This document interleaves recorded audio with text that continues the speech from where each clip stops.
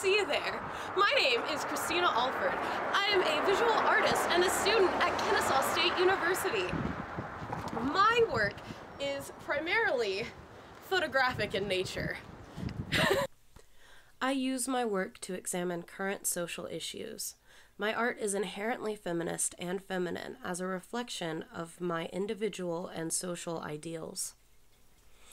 On a personal level, I use my art to work through ideas and issues, political and social, to make myself and hopefully others become more aware of and educated about these matters. My art revolves around people. While my work addresses larger social issues, I focus on the individual. I want to share the story of a person, real or imagined, and how they have been affected by or have coped with controversy present in their lives. The goal in my art is to put a face and personality to marginalized groups that hopefully everyone can connect to and empathize with.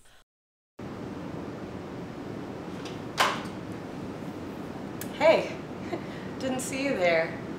Recently, I've been using video art as a medium, which has enabled me to incorporate more of the human aspect of my art. My videos range from highly personal struggles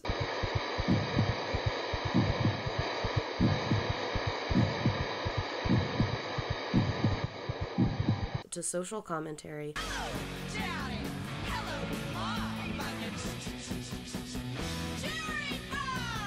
to the struggles of others that I personally haven't faced. A lot of times you'll have people be like, well, how do you know you're a guy? And of course, I'm an asshole, so I'm like, well, how do you know you're a woman?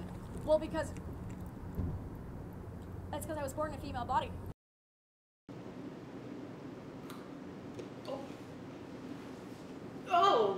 I didn't see you there. Well, I just wanted to say thank you for watching this video about my work. And I hope that you're interested in seeing what I have coming up in the future. Thanks for watching. I dropped my carrot. I'm gonna eat it anyway.